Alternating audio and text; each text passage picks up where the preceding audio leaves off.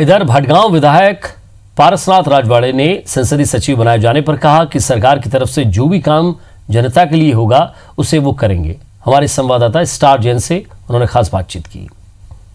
छत्तीसगढ़ में संसदीय सचिवों के नाम की घोषणा हो चुकी है और परसनाथ राजवाड़े जी हैं जिनको भी संसदीय सचिव बनाया गया है वो हमारे साथ मौजूद हैं उनसे बात करते हैं।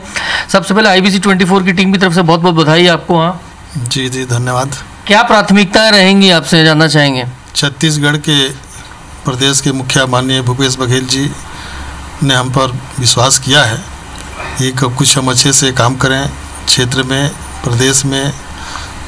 तो मैं उन कामों को पूरा करने का, क्षेत्र में जो कमियाँ हैं, पूरा करने का प्रयास करूँगा।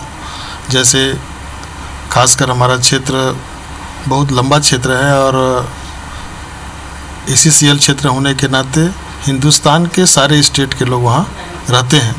अनेक भाषा के लोग हैं, अनेक जाति के लोग हैं और कई पार्ट में जैसे आप उड़गी के ऊपर ले जाइए तो सिंगरौली पड़ता है मध्य प्रदेश। उनका बोली भाषा भी अलग है, उनका रहन सहन भी अलग है। इधर कालरी क्षेत्र है, इधर अंबिकापुर से लगा हुआ शहरी क्षेत्र है। तो विभिन्न तरह का समीकरण है हमारे यहाँ का।